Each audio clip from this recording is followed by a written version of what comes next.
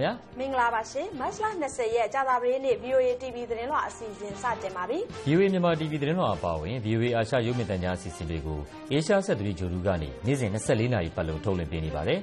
နေ့စဉ်မနက်9နာရီတိုင်းမှာမြန်မာပိုင်းအစီအစဉ်တွေကိုတင်ဆက်ပေးပြီးတော့ နောက်နေ့မနေ့အစီအစဉ်သစ်မပြောင်းခင်အထိအချိန်ချင်းထပ်မံထုတ်လွှင့်ပေးနေပါတယ်။ VOA ရဲ့နိုင်ငံတကာသတင်းတွေဒေသတွင်းနိုင်ငံတွေရဲ့ VOA အစီအစဉ်တွေဟောလိဝုဒ်အပါအဝင်ဂီတအမှုပညာဖျော်ဖြေရေးအစီအစဉ်နဲ့အင်္ဂလိပ်စာသင်ခန်းစာအစီအစဉ်ကိုလည်းကြည့်ရှုနိုင်ပါတယ်ရှင်။ဒီနေ့အစီအစဉ်မှာတော့ EU ဥရောပသမဂ္ဂကုန်သွယ်ရေးကော်မရှင်နာမင်းကြီး Daryl Dugush ရဲ့မြန်မာနိုင်ငံခီးစဉ် အာဆီယံလူငယ်ဖိုရမ်နဲ့လူငယ်တွေရဲ့စိတ်ကူးစိတ်သန်းတွေအကောင့်ထဲပေါ်ရေးမျှော်မှန်းချက်မြန်မာနိုင်ငံသကောင်စည်ရေးကောက်ခံရေးအသိပညာပေးရုပ်သံဇလံဒုတိယရဲနဲ့ပျောက်ဆုံးနေတဲ့ မလေးရှားလေကြောင်းပိုင် ခရီးသည်တွေလေရင်ရှာဖွေနေတဲ့ နောက်ဆုံးရ သတင်းအခြေအနေတွေကို ရှုစားကြရမှာပါရှင်။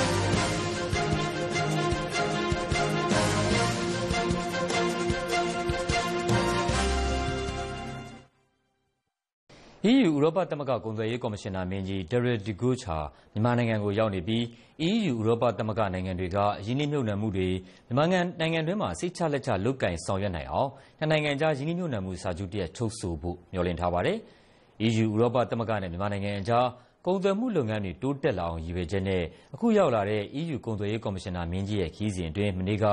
UMFCCI မြန်မာနိုင်ငံကုန်သည်ကြီးများနဲ့စက်မှုလက်မှုလုပ်ငန်းရှင်များအသင်းရုံးချုပ်မှာမြန်မာနိုင်ငံကစီးပွားရေးလုပ်ငန်းရှင်ကြီးတွေနဲ့တွေ့ဆုံခဲ့ပါတယ်။ EU ဥရောပသမဂ္ဂရဲ့ကုန်သွယ်ရေးဦးစားပေးအစီအစဉ်တွေနဲ့ပတ်သက်လို့မြန်မာထုတ်ကုန်လုပ်ငန်းရှင်တွေနားလည်သိရှိအောင်ဆွေးနွေးခဲ့သလိုအဲဒီအကြောင်းအသေးစိတ်ရေးထားတဲ့လက်စွဲစာအုပ်ကိုလည်း UMFCCI မှာမြန်မာလုပ်ငန်းရှင်တွေကိုဖြန့်ဝေပေးအပ်ခဲ့ပါတယ်။အဓိကအချက်ကတော့ မြန်မာထုတ်ကုန်လုပ်ငန်းရှင်တွေအနေနဲ့ EU ရဲ့ GSP အထူးကုန်သွယ်ကင်းလွတ်ခွင့်တွေကို အသေအချာနားလည်ပြီး အသုံးချနိုင်အောင် ရည်ရွယ်တယ်လို့ EU ပြောခွင့်ရသူက ပြောပါတယ်။တချိန်တည်းမှာတော့ အခုခရီးစဉ်အတွင်းမှာ EU နဲ့ မြန်မာနိုင်ငံအကြား ရင်းနှီးမြှုပ်နှံမှုဆိုင်ရာ စာချုပ်တရပ် ချုပ်ဆိုနိုင်ဖို့ EU ကုန်သွယ်ရေးကော်မရှင်နာမင်းကြီးက မျှော်လင့်ထားတယ်လို့ မြန်မာနိုင်ငံဆိုင်ရာ ဥရောပသမဂ္ဂကိုယ်စားလှယ်ရုံး တာဝန်ရှိသူတဦးဖြစ်တဲ့ Alberto Mangini က VOA ကို ပြောပါတယ်ခင်ဗျာ။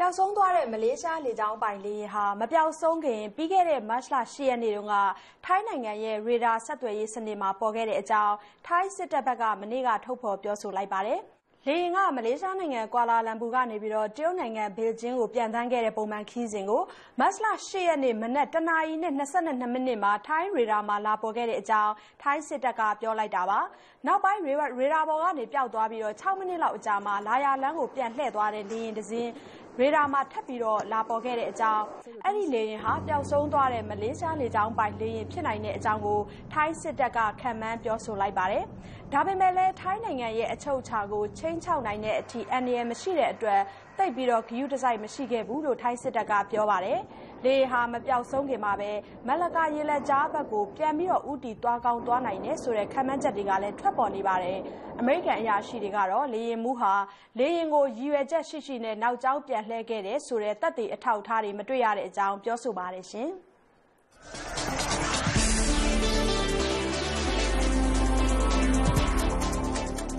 ပျောက်ဆုံးနေတဲ့ မလေးရှားလေကြောင်းလိုင်း MH370 ပေါ်ပါသွားတဲ့ ခရီးသည်တွေအတွက်နဲ့ သူတို့မိသားစုဝင်တွေကို ထောက်ခံအားပေးတဲ့အနေနဲ့ ကွာလာလမ်ပူမြို့အပြင်ဘက်မှာ ရာနဲ့ချီတဲ့လူတွေ စုဝေးပြီးတော့ ဆုတောင်းခဲ့ကြပါတယ်။ခရီးသည်နဲ့ လေယာဉ်ဝန်ထမ်း239ဦးကို တင်ဆောင်ပြီး ကွာလာလမ်ပူမြို့ကနေ တရုတ်နိုင်ငံ ဘေကျင်းမြို့စီညပိုင်းမှာပြန်တန်းသွားတဲ့ အဲဒီလေယာဉ်ဟာ မတ်လ10ရက်နေ့က ပျောက်ဆုံးသွားခဲ့ပြီးတော့ နိုင်ငံပေါင်း26နိုင်ငံက ဝိုင်းဝန်းရှာဖွေနေကြတာပါ။ လေယာဉ်ပျံနဲ့ခရီးသည်တွေဘယ်လိုပျောက်ဆုံးသွားတယ်ဆိုတာအတိအကျမသိနိုင်သေးပေမယ့်လည်းကျန်ရစ်သူမိသားစုဝင်တွေကိုကူညီပံ့ပိုးပေးဖို့အရေးကြီးတဲ့အကြောင်းဆုတောင်းပွဲကိုဦးဆောင်ပြုလုပ်သူတူကပြောပါတယ်။ဒီလေရင်ပျောက်ဆုံးမှုကိုရှာဖွေတာဟာလေကြောင်းသမိုင်းမှာအကြီးမားဆုံးရှာဖွေမှုကြီးဖြစ်ပါတယ်ခင်ဗျာ။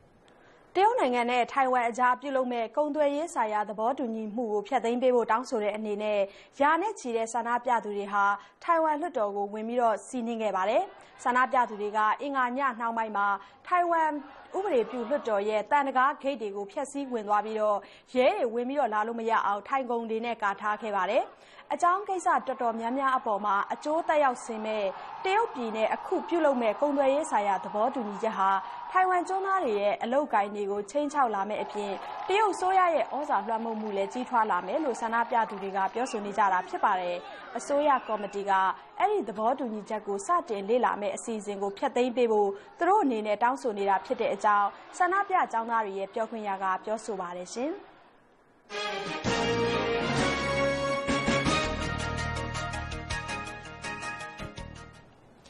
ယူကရိန်း ခရိုင်းမီးယားဒေသကို ရုရှားရဲ့ တစိတ်တပိုင်းအဖြစ် သတ်မှတ်လိုက်တဲ့ကိစ္စကို ဂျပန်နဲ့ဩစတြေးလျနိုင်ငံတွေက ဝေဖန်လိုက်ပါတယ်။ရုရှားရဲ့လုပ်ရပ်ဟာ ယူကရိန်းနိုင်ငံရဲ့ ညီညွတ်မှု၊အချုပ်အခြာနဲ့ နယ်မြေပိုင်ဆိုင်မှုကို ထိပါးတဲ့လုပ်ရပ်ဖြစ်တယ်လို့ ဂျပန်ဝန်ကြီးချုပ် ရှင်ဇိုအာဘဲကပြောလိုက်တာပါ။ရှိရင်းစွဲအခြေအနေတရပ်ကို အင်အားသုံးပြီး ပြောင်းလဲအောင်လုပ်တဲ့ ဘယ်လိုလုပ်ရပ်မျိုးကိုမှ ဂျပန်နိုင်ငံက လျစ်လျူရှုထားမှာ မဟုတ်ဘူးလို့လည်း သူကပြောပါတယ်။အင်္ဂါနေ့တုန်းကတော့ ရုရှားနဲ့ ဂျပန်နိုင်ငံအကြား ပြည်ဝင်ခွင့်ဗီဇာ သတ်မှတ်ချက်တွေ လျှော့ချဖို့ကိစ္စ ဆွေးနွေးမှုတွေနဲ့ နိုင်ငံတကာသဘောတူစာချုပ်သစ်တချို့ချုပ်ဆိုဖို့နှစ်နိုင်ငံစေ့စပ်ညှိနှိုင်းမှုတွေစတင်ဖို့ရှိနေတာကိုလည်းဂျပန်ဘက်ကနေရပ်ဆိုင်းကြောင်းကြေညာခဲ့ပါတယ်။ရုရှားနိုင်ငံအပေါ်နောက်ထပ်အရေးယူဒဏ်ခတ်ပိတ်ဆို့မှုတွေချမှတ်ဖို့ကိစ္စကိုလည်းစက်မှုအင်အားကြီးနိုင်ငံခုနစ်နိုင်ငံ G7 အဖွဲ့ဝင်နိုင်ငံတွေရဲ့ဆွေးနွေးမှုတွေပြီးတဲ့အခါဂျပန်အစိုးရကစဉ်းစားသွားမယ်လို့ဂျပန်အစိုးရဝန်ကြီးများအဖွဲ့အကြီးအကဲ Yoshihide Suga ကပြောပါတယ်။ ဒီအတောအတွင်းသြစတြေးလျနိုင်ငံခြားရေးဝန်ကြီး Julie Bishop ကလည်း ရုရှားနိုင်ငံရဲ့ ယူကရိန်းအပေါ် ခြိမ်းခြောက်မှုမှာ ကြိုးကိုင်နေတဲ့ ရုရှားနဲ့ ယူကရိန်းတချို့အပေါ် ဘဏ္ဍာရေးအရ ပိတ်ဆို့အရေးယူမှုတွေနဲ့ ခရီးသွားလာခွင့် ပိတ်ပင်တာတွေသြစတြေးလျအစိုးရက ချမှတ်သွားမယ်လို့ ပြောလိုက်ပါတယ်ခင်ဗျာ။ ဝါရှင်တန်ဒီစီမှာရှိတဲ့ ဆီးရီးယားသံရုံးကို သူ့ရဲ့လုပ်ငန်းတွေ ရပ်ဆိုင်းပစ်ဖို့ အမေရိကန်အရာရှိတွေက ပြောဆိုလိုက်ပြီးအမေရိကန်နိုင်ငံသား ဒါမှမဟုတ် တရားဝင် အမြဲတမ်းနေထိုင်ခွင့်မရှိတဲ့ ဆီးရီးယားသံတမန်အားလုံး အမေရိကန်ပြည်ထောင်စုကနေ ထွက်ခွာရမယ်လို့ ပြောဆိုလိုက်ပါတယ်။ဒီအမိန့်ဟာ အမေရိကန်ပြည်ထောင်စုမှာရှိတဲ့ ဆီးရီးယား ဂုဏ်ထူးဆောင် ကောင်စစ်ဝန်ရုံး နှစ်ခုအတွက်လည်း အကျုံးဝင်ပါတယ်။ဒီဆုံးဖြတ်ချက်နဲ့ ပတ်သက်လို့ အိမ်ဖြူတော်ပြောခွင့်ရ Jay Carney က အခုလို ရှင်းပြပါတယ်။ Uh, that the Syrian embassy suspended its provision of consular services and in consideration of the atrocities the Assad regime ဆီးရီးယားတန်ယုံကကောင်စစ်ရေးရာလုပ်ငန်းတွေရပ်ပစ်ဖို့ကြေညာခဲ့ပြီးတဲ့နောက် ဆီးရီးယားပြည်သူတွေအပေါ်မှာအာဆတ်အစိုးရရဲ့ရက်ဆက်ကြမ်းကြုတ်မှုတွေကိုတုံ့ပြန်တဲ့အနေနဲ့ဒီအစိုးရကခန့်အပ်ထားတဲ့ဘယ်သူတဦးတယောက်ကိုမှအမေရိကန်ပြည်ထောင်စုမှာတန်တမန်ရေးရာလုပ်ငန်းတွေလှုပ်ဆောင်ခွင့်မပြုဖို့ကျွန်တော်တို့ဆုံးဖြတ်လိုက်တာဖြစ်ပါတယ်လို့မစ္စတာကန်နီကပြောသွားတာပါဆီးရီးယားပြည်တွင်းစစ်စတင်ခဲ့ပြီးတော့၃နှစ်အကြာမှာထုတ်ပြန်တဲ့ဒီအမိန့်ဟာအမေရိကန်ပြည်ထောင်စုမှာရှိတဲ့ဆီးရီးယားနိုင်ငံသားတွေကိုကောင်စစ်ရေးရာဝန်ဆောင်မှုတွေမပေးတော့ဘူးအာဆတ်အစိုးရကနေဆုံးဖြတ်ခဲ့တာကိုတုံ့ပြန်တဲ့အနေနဲ့အမေရိကန်အစိုးရဘက်ကနေဝါရှင်တန် DC မှာရှိတဲ့ဆီးရီးယားတန်ယုံကိုပိတ်ခိုင်းပစ်လိုက်တာလည်းဖြစ်ပါတယ်ရှင်။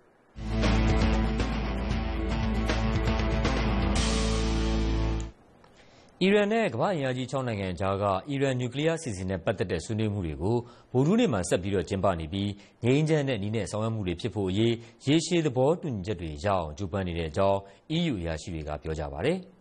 I mean, I wouldn't like to make any predictions. The most important thing is that a deal is done that is a good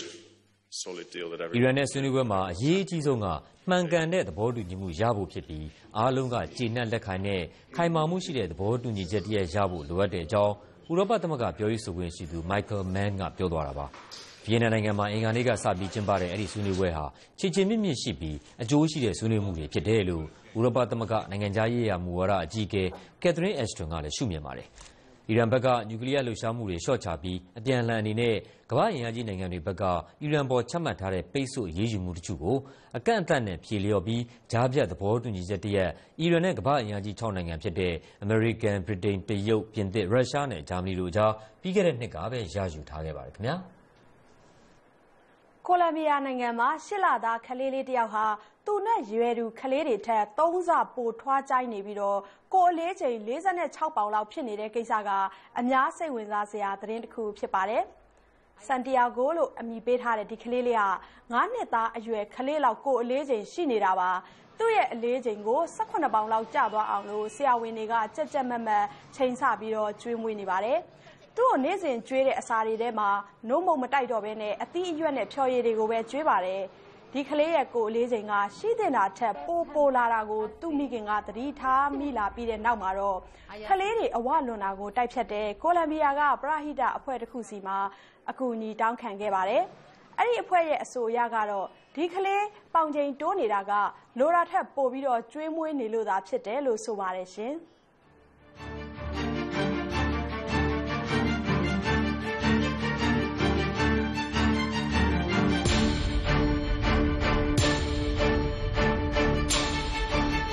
ခုဆက်ပြီးတော့သတင်းဆောင်မတွေကိုရှုစားကြရမှာပါ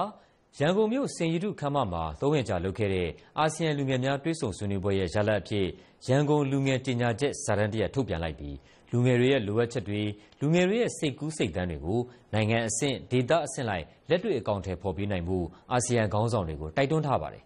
မြန်မာအပါအဝင် အာဆီယံနိုင်ငံ10နိုင်ငံက လူငယ်ကိုယ်စားလှယ်တွေအနေနဲ့ ဒေသတွင်းက လူငယ်တွေအပေါ်မှာတက်ရောက်မှုရှိလာတဲ့ ပြဿနာရပ်တွေကို အဲ့ဒီဆွေးနွေးပွဲအတွင်း ဆွေးနွေးခဲ့ကြပြီး ဒီပေါ်မှာ အကြံပြုချက်တွေကို ပြုစုခဲ့ကြတာပါ အခု မြန်မာနိုင်ငံမှာ ပထမဆုံးကျင်းပနိုင်တဲ့ အာဆီယံလူငယ်တွေရဲ့ တွေ့ဆုံပွဲဟာ2009ခုနှစ် နှစ်စဉ်စလုပ်လာကြတဲ့ကဆိုပြီး တက်ရောက်သူအများဆုံးနဲ့အောင်မြင်ဆုံး ဖြစ်ခဲ့တယ်လို့ တက်ရောက်လာတဲ့ လူငယ်ကိုယ်စားလှယ်အသီးသီးက ပြောကြပါတယ် ဒါကြောင့်လဲ အာဆီယံဒေသတွင်း လူငယ်တွေအကြား ပူးပေါင်းဆောင်ရွက်မှုတွေဟာ အရင်ကထက် ပိုပြီး အရှိန်ကောင်းလာဖို့ မျှော်လင့်တယ်လို့ အာဆီယံ လူငယ်တွေ့ဆုံပွဲ ဖြစ်မြောက်ရေး စီစဉ်သူတူဖြစ်တဲ့ မြန်မာလူငယ်ကိုယ်စားလှယ် ကိုသက်ဆွေဝင်းက VOA ကို ပြောပါတယ်။ကိုသက်ဆွေဝင်းကို ရန်ကုန်ရုံးခွဲတာဝန်ခံ ကိုသားညွန့်ဦးက တွေ့ဆုံမေးမြန်းထားပါတယ်ခင်ဗျာ။အခု2015မှာ အာဆီယံ လူမှုအတိုင်းဝိုင်းအာဆီယံ community ဆိုပြီးတော့ စိတ်ကူးထားကြတာပေါ့ အာဆီယံခေါင်းဆောင်တွေလှုပ်ထားတာရှိတယ်။လက်တွေ့မှာ အခုလို အခင်းချင်းနဲ့ အာဆီယံနေနိုင်ငံခြားဆက်ဆံမှု ပုံစံမျိုးနဲ့ လက်တွေ့မှာ ဖြစ်နိုင်ခြေ ဘယ်လောက်ထိရှိလဲ။ ဖြစ်နိုင်ခြေဘယ်လောက်ထိရှိလဲဆိုတော့သူတို့တွေဒီ fever integrated ဖြစ်သွားရင်ဖြစ်ကောင်းဖြစ်နိုင်ပါလိမ့်မယ်ဒါပေမဲ့ကျွန်တော်ဒီလူမှုရေးတွေနောက်ပေါ်လို့ရှိရင်ဒီကျန်တဲ့နိုင်ငံရေးတွေကတော့ကျွန်တော်အရင် diverse ဖြစ်လုံးဝကြည့်တဲ့ခါကျတော့ဖြစ်ဖို့မလွယ်လာပါဘူးနောက်တစ်ချက်ကကျတော့ဒီသူဖြစ်လာ fever integration ဖြစ်သွားပြီဆိုလို့ရှိရင် economic integration ဖြစ်သွားပြီဆိုလို့ရှိရင်ပြဿနာပါလဲဆိုတော့ကျွန်တော်မြန်မာလိုမျိုးကမ်ဘောဒီးယားလိုမျိုးလာအိုလိုမျိုးဒီဖွံ့ဖြိုးတဲ့နိုင်ငံတွေ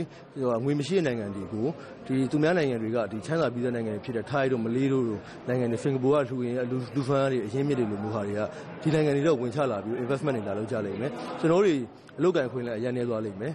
ပြီးသွားလို့ရှိရင်ကျွန်တော်တို့ဟိုပြင်ဆင်ထားမှုမရှိဘူးဆိုလို့ရှိရင်ဟိုသူတို့ကိုပြန်ပြီးတော့ refit လုပ်ဖို့အတွက်ကိုကျွန်တော်အရင်ခက်လာလိမ့်မယ်အဲ့ဒါတွေကကျွန်တော်တို့အတွက်တကယ် challenges တွေပါဒီပတ်ဖန်ရှိတဲ့နိုင်ငံတွေအတွက်တော့အဆင်ပြေပေမဲ့ပတ်ဖန်မရှိတဲ့နိုင်ငံတွေအနေနဲ့ဒီဖွံ့ဖြိုးတဲ့နိုင်ငံတွေအနေနဲ့ကြာရင်အရန်ကိုအနေနဲ့ကြီးပါတယ်ဒီဟာအဲ့တော့ကျွန်တော်လူငယ်တွေအနေနဲ့လည်းဒီတစ်ခေါက်လုပ်တဲ့ forum ထဲမှာကျွန်တော်ဒါကိုတေချာဆွေးနွေးခဲ့ကြတယ်လူကြီးတွေကိုလည်းကျွန်တော်တိုက်တွန်းပြောဆိုသွားဖို့ရှိပါတယ်ဒီလူငယ်တွေရဲ့ဒီအဓိကတိုက်တွန်းနေတာကတော့ဒီအာဖီယန် ဒီဒီဒီ region ကြီးတစ်ခုလုံးအတွက်ကို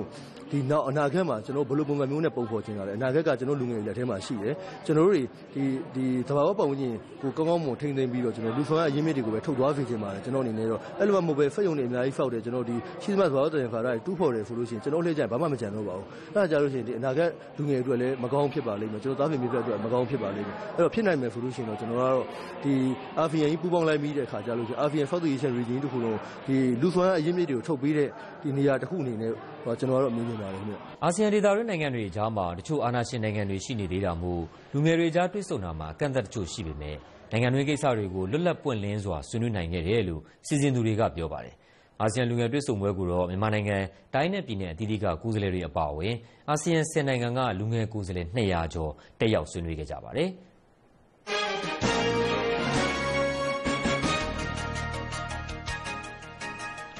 VOA TV သတင်းလွှာအစီအစဉ်ဆက်ပြီးတော့ထုတ်လွှင့်ပေးနေပါတယ်ရှင်။မြန်မာနိုင်ငံမှာလာမယ့်မတ်လ30ရက်နေ့ညကနေစပြီးတော့ဧပြီလ10ရက်နေ့အထိတိုင်းပြည်အတွင်းမှာရှိတဲ့နေထိုင်တဲ့သူအလုံးကိုသကောင်စည်ရင်ကောက်ခံတော့မှာဖြစ်ပါတယ်။ဒီသကောင်စည်ရင်ကောက်ခံတာနဲ့ပတ်သက်လို့တည်တင်တည်ထိုက်တဲ့အကြောင်းအရာတွေကိုကုလသမဂ္ဂလူဦးရေရန်ပုံငွေအဖွဲ့ UNFPA ကနေကူညီပြီးတော့ရုပ်သံလွှင့်ဇလံတွေအပိုင်း3ပိုင်းတင်ဆက်ထားပါတယ်။ဒီကနေ့မှာတော့ဒုတိယအပိုင်းကိုရှုစားကြရအောင်ပါရှင်။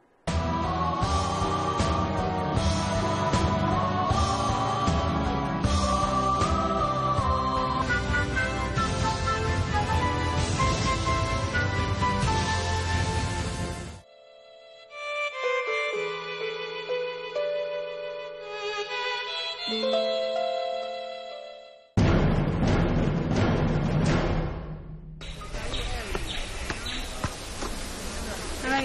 ေဆိုခြင်းဖြင့်ဒီလူအလုံးညီပေးပါ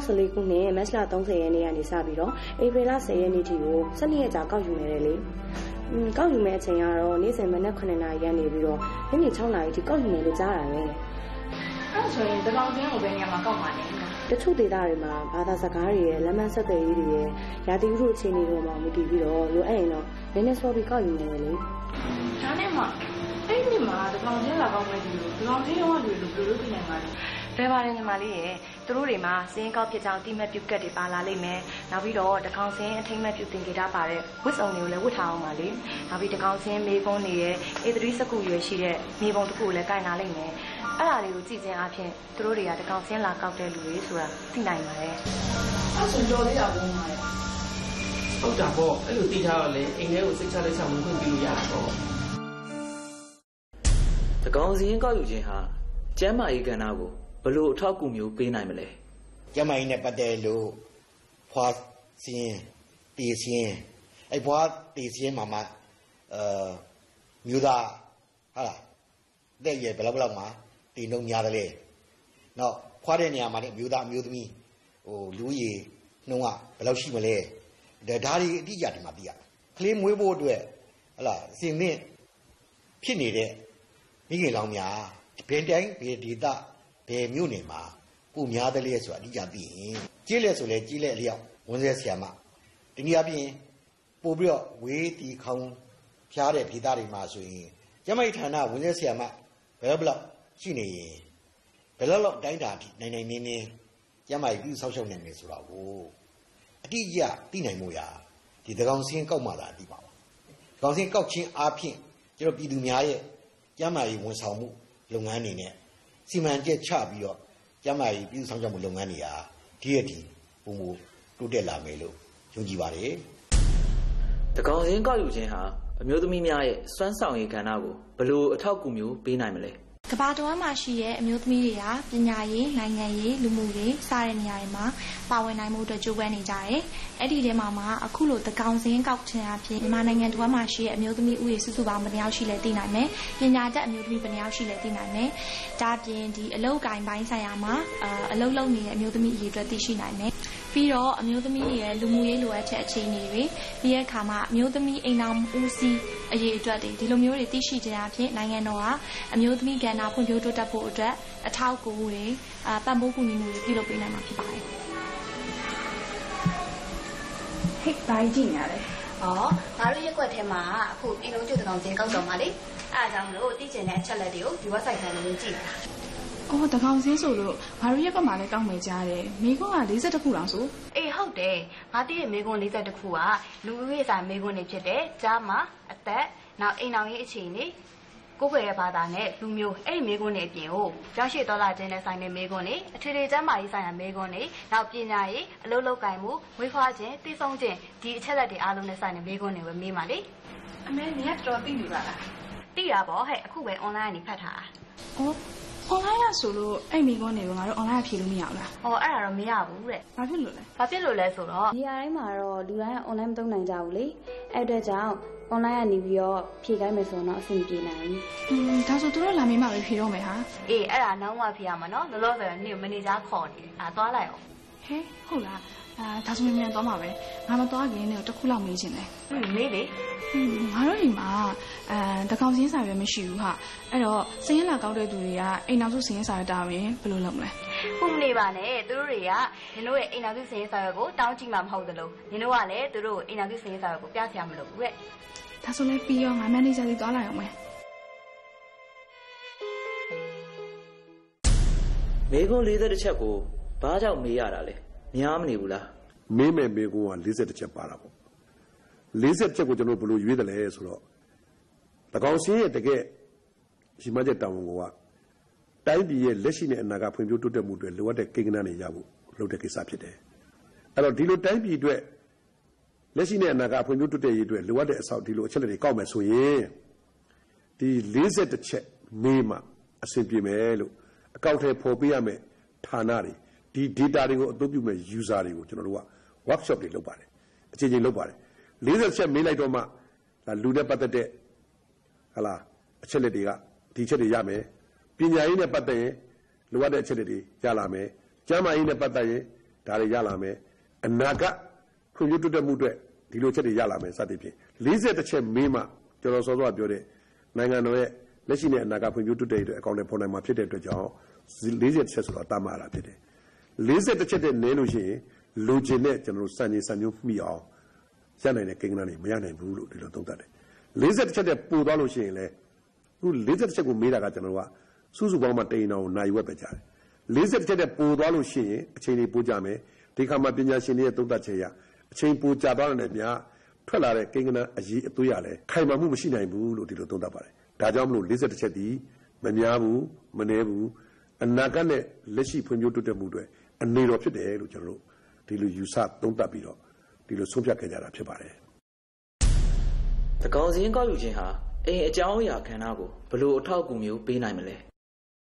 ဒီလိုတကောင်စင်းကောက်ယူခြင်းအပြင်မြန်မာနိုင်ငံတစ်ဝန်းမှာရှိတဲ့နေအိမ်အမျိုးအစားတွေဒီအိမ်တွေကိုစောက်လုပ်ထားတဲ့ပစ္စည်းတွေဥပမာအဖြစ်တိုက်အိမ်မျိုးစားလားပြင်တော်အိမ်မျိုးစားလားဝိုင်းအိမ်မျိုးစားလားစတဲ့အချက်တွေကိုသိရှိနိုင်မှာဖြစ်ပါတယ်။ဒါအပြင် လက်စစ်မီအသုံးပြုနိုင်တဲ့အိမ်အောင်စုရေအတွက်နဲ့တခြားစွမ်းရင်အသုံးပြုနိုင်တဲ့အိမ်အောင်စုရေအတွက်တွေကိုလည်းသိရှိနိုင်မှာဖြစ်ပါတယ်။တောက်သုံးရေလိုအပ်နေတဲ့အိမ်အောင်စုရေအတွက်တန်ရှင်းတဲ့ရေလိုအပ်နေသေးတဲ့အိမ်အောင်စုရေအတွက်စတဲ့အချက်တွေကိုလည်းသိရှိနိုင်မှာဖြစ်ပါတယ်။ဒီချက်လက်တွေကနေပြီးတော့ထိရောက်တဲ့အိုးအိမ်ချထားရေးမူဝါဒတွေပြီးရခါမှာလက်ရှိနေအနေအထားတွေပြီးတော့အသုံးဆောင်ပစ္စည်းတွေပုံမူကောင်းမွန်မှုအတွက်ဆောင်ရွက်တဲ့နေရာမှာအထောက်အကူပြုစေနိုင်ပါတယ်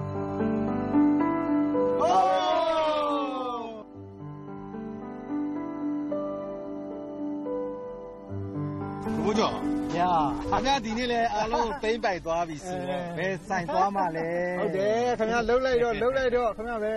ကဲဒီလေးဘုတော့ sorry ပဲဗျာကျွန်တော်သမီးလေးစောက်နေကျွန်တော်သွားပြန်ကြည့်ရှိလို့နောက်ပါပေါ့နော်လက်ချ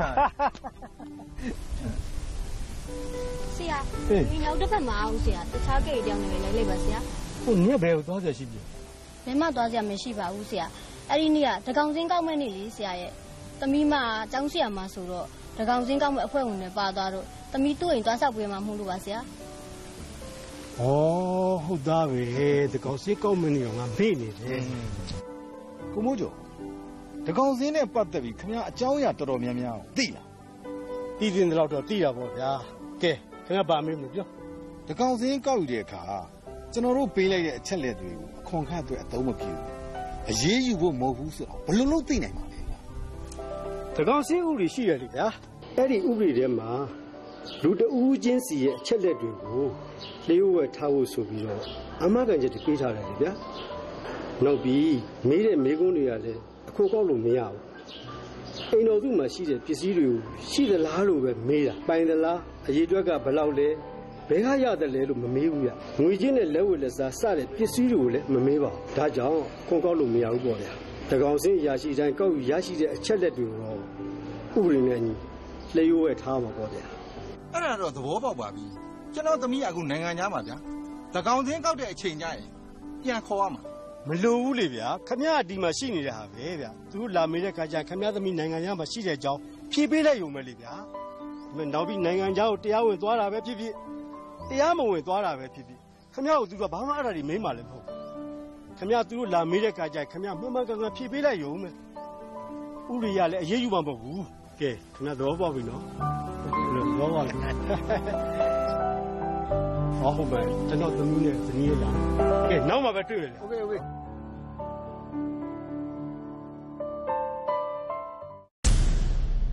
။တကောင်စင်းပါအချက်လက်တွေကိုဘလို့နေရာမျိုးမှာအသုံးပြုမှာလဲ ။တကောင်သိန်းရရတဲ့အချက်လက်တွေကိုနိုင်ငံတော်နိုင်ငံတော်ရဲ့လူမှုဖွံ့ဖြိုးရေးစီမံကိန်းတွေမှာအသုံးပြုသွားမှာဖြစ်ပါတယ်။အဓိကတော့ကျွန်တော်တို့နိုင်ငံသားတွေရဲ့လူမှုဘဝဖွံ့ဖြိုးဖို့အတွက် စီမံကိန်းတွေမှာအဓိကကျတဲ့ကိန်းဂဏန်းအချက်လက်တွေရရှိမှသာစီမံကိန်းကအောင်မြင်နိုင်မှာဖြစ်ပါတယ်။ဒါကြောင့်ဒီမှန်ကန်တဲ့ကိန်းဂဏန်းအချက်လက်တွေရဖို့အတွက်ကိုကျွန်တော်တို့တကောင်စင်းမှာမှန်မှန်ကန်ကန်ဖြည့်ဖို့လိုအပ်ပါတယ်။ဒီဒီကိန်းဂဏန်းအချက်လက်တွေရရှိမှသာနိုင်ငံတော်ရဲ့လူမှုဖွံ့ဖြိုးရေးစီမံကိန်းတွေမှာအောင်မြင်စွာဆောင်ရွက်သွားနိုင်မှာဖြစ်ပါတယ်။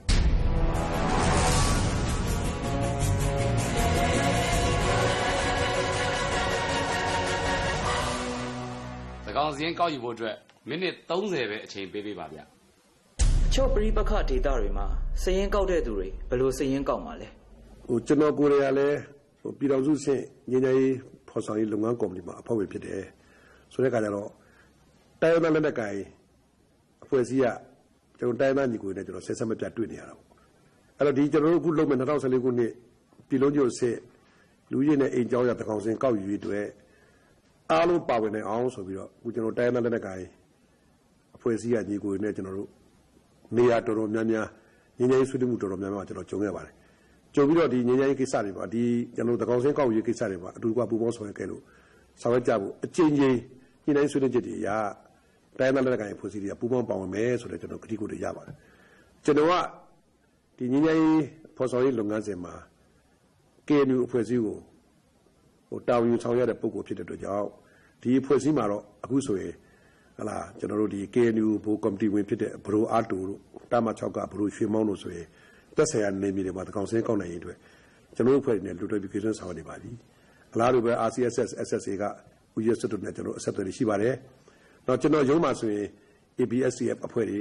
PNL အဖွဲ့တွေ RCSS SSA အဖွဲ့တွေ KNU အဖွဲ့တွေ KNU KNL PC ဖွဲ့တွေ စသည်ဖြင့်ဒီဖွဲ့တွေဟာအ ਨੇ ဆုံးကျွန်တော်2နာရီခွဲ3နာရီလောက်ခေါ်ပြီးဒီကိစ္စတွေကိုအသေးစိတ်ဆွေးနွေးပြီးသားဖြစ်တဲ့အတွက်ကြောင့်ပြပခတ်နေမြေတွေမှာရှိတဲ့တိုင်းဒေသလက်နက်ကိုင်အဖွဲ့အစည်းတွေမိသားစုတွေ IDP တွေအားလုံးကိုပါဝင်နိုင်ရေးအတွက်ကျွန်တော်စီမံဆောင်ရွက်နေပါတယ်အားလုံးလည်းရလိမ့်မယ်လို့ကျွန်တော်ဒါပြောနေထားပြီးဖြစ်ပါတယ်။တီးမှန်ကန်တဲ့အဖြစ်ဒီတိုင်းပြည်ဖွံ့ဖြိုးတိုးတက်ရေးအတွက်အထောက်အကူဖြစ်စေပါတယ်။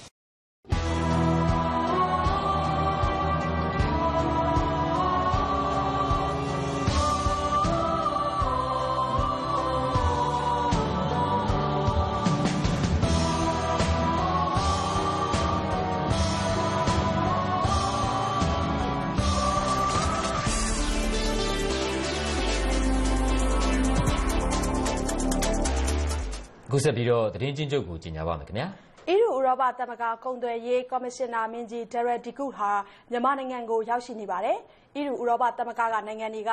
ယင်းနှိမ့်မြုပ်နှံမှုတွေမြန်မာနိုင်ငံအတွင်းမှာစိတ်ချလက်ချလုပ်ကိုင်ဆောင်ရွက်နိုင်အောင်နှစ်နိုင်ငံအကြား ရင်းနှီးမြှုပ်နှံမှုစာချုပ်တရက်ချုပ်ဆိုဖို့မျှော်လင့်ထားပါတယ်။ EU ကုန်သွယ်ရေးကော်မရှင်နာမင်းကြီးရဲ့ခီးစဉ်အတွင်းမှာမနေ့တုန်းကတော့ UNFCCI မြန်မာနိုင်ငံကုန်သည်ကြီးများနဲ့စက်မှုလက်မှုလုပ်ငန်းရှင်များအသင်းရုံးချုပ်မှာမြန်မာနိုင်ငံကစီးပွားရေးလုပ်ငန်းရှင်ကြီးတွေနဲ့တွေ့ဆုံခဲ့ပါတယ်ရှင်။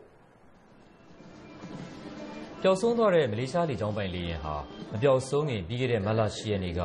ထိုင်းနိုင်ငံရဲ့ရေဒါဆက်သွယ်ရေးစနစ်မှာပေါ်ခဲ့တဲ့အကြောင်းထိုင်းစစ်တပ်ကမနေ့တုန်းကထုတ်ဖော်ပြောဆိုပါတယ်။ လေယာဉ်ဟာ မလေးရှားနိုင်ငံ ကွာလာလမ်ပူမြို့တော်ကနေ တရုတ်နိုင်ငံ ဘေကျင်းမြို့တော်ဆီ ပျံသန်းခဲ့တဲ့ ပုံမှန်ခရီးစဉ်ကို မတ်လ ၈ ရက်နေ့ မနက် ၁ နာရီ ၂၂ မိနစ်မှာ ထိုင်းရေဒါမှာ လာပေါ်ခဲ့တဲ့အကြောင်း ထိုင်းစစ်တပ်က ပြောတာပါ။နောက်ပိုင်းတော့ ရေဒါပေါ်ကနေ ပျောက်သွားပြီး ၆ မိနစ်အကြာမှာ လာယာလမ်းကို ပြန်လှည့်သွားတဲ့ လေယာဉ်တစ်စင်း ရေဒါမှာ ထပ်ပေါ်လာခဲ့တဲ့အကြောင်း၊အဲဒီလေယာဉ်ဟာ ပျောက်ဆုံးသွားတဲ့ မလေးရှားလေကြောင်းပိုင် လေယာဉ် ဖြစ်နိုင်တဲ့အကြောင်း ထိုင်းစစ်တပ်က ခန့်မှန်းပြောဆိုပါတယ်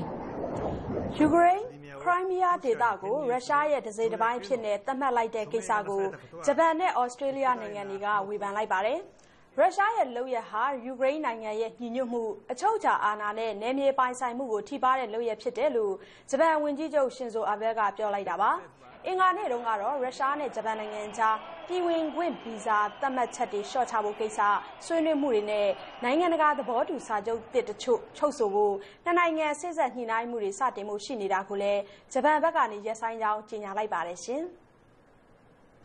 ။